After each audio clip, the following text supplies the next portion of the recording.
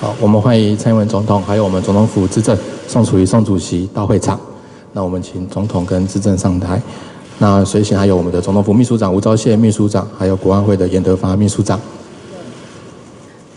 我在此要正式宣布，将再一次委请宋楚瑜资政担任我国的领袖代表，代表我参加相关的会议跟活动。今年代表团最重要的任务是将我们对 APEC 的参与连接政府的新南向政策的战略目标及各项的努力。我们会透过和各国领袖互动，尤其是与我们在经贸事务上有紧密伙伴关系的国家共同合作。我们也愿意在 APEC 的架构下与中国大陆进行善意的互动与合作，共同。为促进 APEC 的宗旨和目标做出积极的贡献。今天再度得到这样的托付，我首先再次的谢谢总统对我的信任。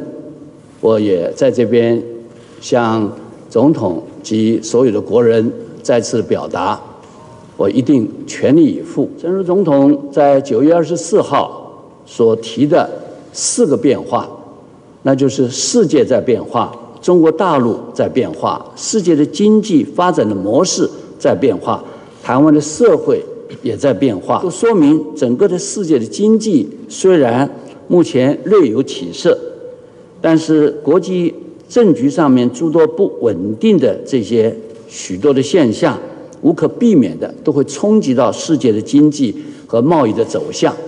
We are small, but we are great。台湾虽然小。但是台湾的经验是值得我们骄傲的共同资产。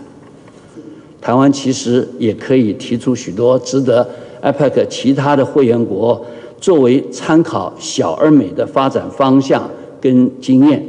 所以此行我们将以自信而不自满，而且对等不卑不亢的一种态度，代表我们全体国人出席二零一七年在越南。岘港 APEC 的领袖会议。